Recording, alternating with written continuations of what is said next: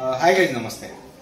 सोनी के mostly LED LCD plasma TV से लेके क्यूब एलईडी ओएलईडी तक uh, बहुत सारे फॉल्ट फाइंडिंग टिपिकल होते हैं क्रिटिकल होते हैं समझ में नहीं आता कि ये प्रॉब्लम कहाँ से आ जाता है.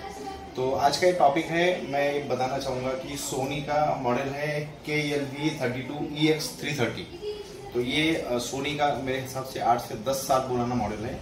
और इसमें कॉमन सा प्रॉब्लम रिलीज़ होता है कि टीवी ऑन होता है सोनी नाम लिख के आता है और सोनी नाम लिख के आने के बाद में आ, ये कुछ टाइम ब्लिंकिंग पे चला जाता है। ये एग्जांपल दिखाना चाहूँगा मैं आपको। ये सोनी का मॉडल है। ग्रीन लाइट लग गया। सोनी नाम आ गया। सोनी नाम के बाद ये प्रॉपर चालू हो गया टीवी पूरा स्नो आ गया।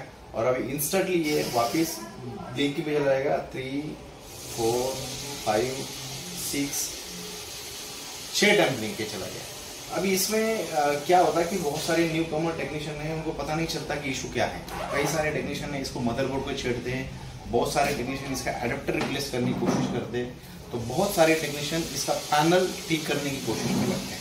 तो ये मेरे हिसाब से दो चीज़ों से प्रॉब्लम आता है। एक तो बोर्ड से भी आ सकता है बैकलाइट से भी आ सकता है और कभी कभी ये वाला प्रॉब्लम वन परसेंट पैनल से भी आता है।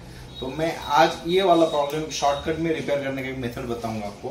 सोनी के जितने सारे मॉडल्स हैं, उसको आप टेम्पररी चेक करने के लिए आप ये जज कर सकते हो। सोनी का ये जो मॉडल है, इसका जो बैक पैनल का ये प्रोटेक्शन है, एक, दो, तीन, चार, पाँच छः ये वाला आप डायरेक्ट करके टीवी टेम्पररी चेक कर सकते हो कि कौन से डिवीज़न में आपका इशू है। बैकलाइट में है पैनल में है पावर सप्लाई में है, या मदरबोर्ड में है। अगर ये छः पिन आप शॉर्ट करने के बाद टीवी चालू करेंगे तो मोस्टली मेरे हिसाब से टीवी ऑन होना चाहिए। तो आप अगर ये छः पिन शॉर्ट करने के बाद अगर टीवी आपका प्रॉपरली ऑन हो जाता है तो आप समझ लीजिए आपका बैकलाइट खराब है। उसको शॉर्ट करके चलाने की कोशिश ना करें, पूरा का पूरा बैक पैनल जेन्यूनली रिप्लेस कर दीजिए, ताकि क्लाइंट भी हैप्पी बने रहे, आपको भी वो रिपीट दो तीन साल तक नहीं वापस आएगा, और वो टीवी की लाइफ बढ़िया रहेगी। बहुत सारे मेरे दोस्त हैं जो कि इसको शॉर्टकट मार के क्लाइंट को दे देते हैं बट कुछ टाइम के बाद आपका ये वाला जो इन्वर्टर आईसी है, वो इंटरनल शॉर्ट हो जाता है बैक पैनल रिप्लेस करने की नौबत आती है और कस्टमर को वो टीवी बाद में फेंक के देने की नौबत आती है। तो सारे मेरे दोस्तों से टेक्नीशियन दोस्तों से रिक्वेस्ट है, अगर कोई भी टेक्निकल इशू आता है तो प्रॉब्लम 100 परसेंट रिपेयर कर मतलब रिप्लेस करके दे दो पार्ट ना कि उसको कुछ शॉर्टकट मेथड यूज़ करो।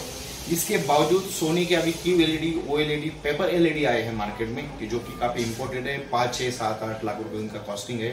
तो उनके सोनी के जितने सारे स्क्वायर पार्ट है, हम लोगों ने रखे हैं। कुछ फॉल्ट फाइंडिंग के टिप्स चाहिए आपको क्यू ओ एलईडी के बारे में। तो आप लोग हमें नीचे दिए गए